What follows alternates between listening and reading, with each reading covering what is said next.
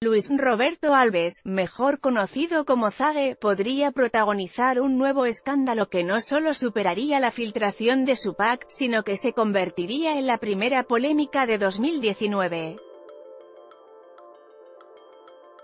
A mediados de junio pasado, durante las transmisiones del Mundial Rusia 2018, Zage vivió uno de los momentos más embarazosos de su carrera luego de que se viralizara un video, presuntamente enviado a su amante, en el que presume su miembro viril. La filtración de su pack no solo permitió que el exfutbolista fuera señalado de adúltero, sino también desató un gran número de ataques y críticas en redes sociales contra sus supuestas amantes, y ocasionó la ruptura definitiva de su matrimonio con Paola Rojas, con quien tiene dos hijos, y Paula.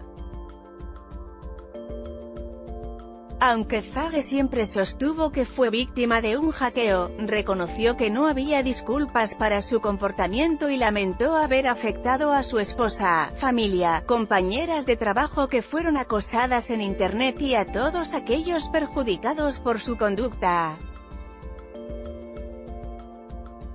Tras meses de incertidumbre, el presentador de TV Azteca volvió a ser noticia luego de que Paola Rojas declarara para una emisión de Suelta la Sopa que ya se encuentra soltera, pues además de aclarar que no hay posibilidad de reconciliación con el padre de sus pequeños, dejó entrever que ya está preparando su divorcio.